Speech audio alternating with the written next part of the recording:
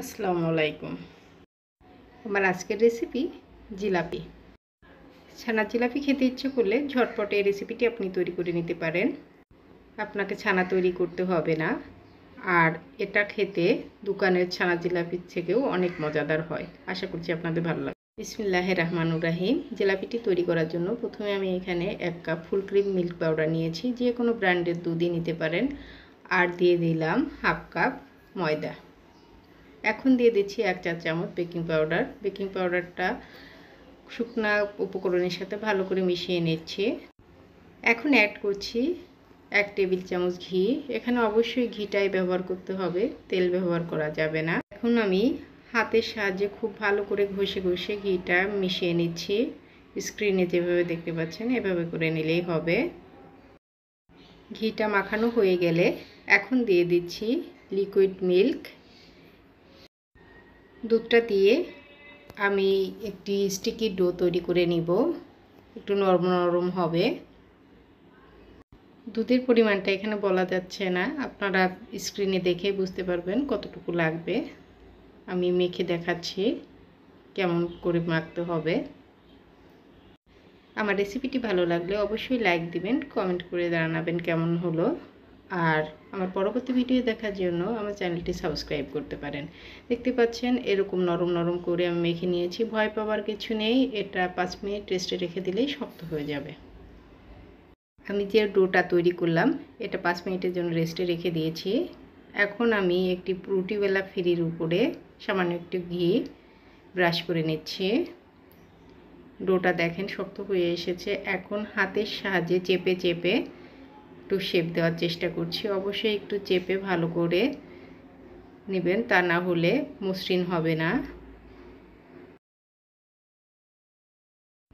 এখন আমি এটাকে রশির মতো ভালো করে পাকিয়ে নিচ্ছি, লম্বা দড়ির মতো হবে এটা। আমি একটি রশি পাকিয়ে নিচ্ছি। দেখতে পাচ্ছেন এরকম একটা রশি পাকিয়ে নিয়েছি। এখন আমি এটাকে জিলেপি শেপ দিব। স্ক্রিনে দেখলে আপনারা বুঝতে পারবেন কীভাবে জিলিপিটা তৈরি করছি। প্রথমে আমি এক সাইড থেকে মাথাটা নিয়ে এলাম নিয়ে এখানে আটকে দিলাম। তারপর রাউন্ড শেপ করে নিয়ে এটা উপরে এনে আবার চাপ দিয়ে লাগিয়ে দিলেই হয়ে যাবে। দেখতে পাচ্ছেন খুবই ইজিভাবে এটি তৈরি করে নিলাম। একই উপায়ে আমি সবগুলো জিলিপি তৈরি করে নিব। এখন আমি জিলিপিগুলোকে ভেজে নেব। একটি কড়াই আমি পর্যাপ্ত পরিমাণ তেল দিয়ে দিয়েছি। আর তেলটা কিন্তু খুব বেশি গরম হয়নি, হালকা গরম হয়েছে। অবশ্যই হালকা গরম থাকতে হবে। আর এই জিলিপিগুলো প্রথমে আমি মিডিয়াম হিটে ভাজবো।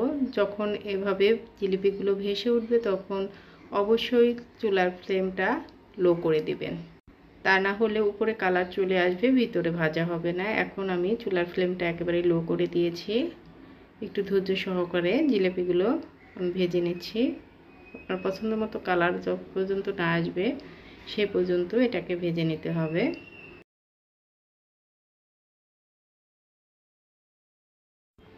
আমার জিলাপিগুলোর কালার দেখেন, খুব সুন্দর একটা কালার হয়েছে, কিন্তু এখনই আমি তুলে নিচ্ছি না। আমি আরেকটু ডিপ করে ভাজবো, কারণ ছানার জিলাপিগুলো একটু কালো কালো হয়, এজন্য আরও কিছুক্ষণ আমি জিলিপিগুলো ভেজে নিচ্ছি।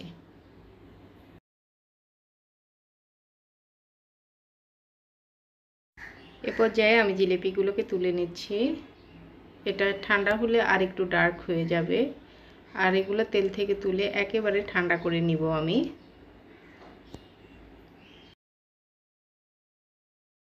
আমি একটি রাইস কুকারে এক কাপ চিনি দিয়ে দিয়েছি। আমি এটি রাইস কুকারে করব। আপনারা কড়াইও করতে পারেন। আমার কাছে রাইস কুকারে মনে হয় যে ইভেনলি তাপটাপ লাগে, ভালো হয়। দিয়ে দিলাম দেড় কাপ পানি। শিরাটাকে আমি ফুটিয়ে নিচ্ছি। শিরাটা ফুটে উঠেছে। এখন আমি ঠান্ডা জিলাপিগুলো দিয়ে দিচ্ছি। অবশ্যই জিলিপিগুলো ঠান্ডা করে নেবেন। জিলিপিগুলো ঠান্ডা না হলে কিন্তু গাটা কুচকে যাবে, দেখতে ভালো লাগবে না।